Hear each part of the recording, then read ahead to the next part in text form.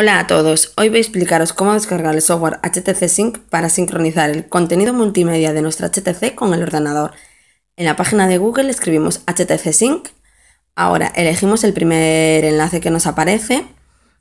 Esta sería la página donde nos explica un poco el uso de HTC Sync y de dónde podemos descargarlo.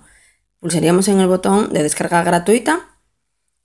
Ahora lo que nos aparece es el listado de móviles compatibles con esta aplicación nos vamos hacia la parte inferior de la pantalla, marcamos este check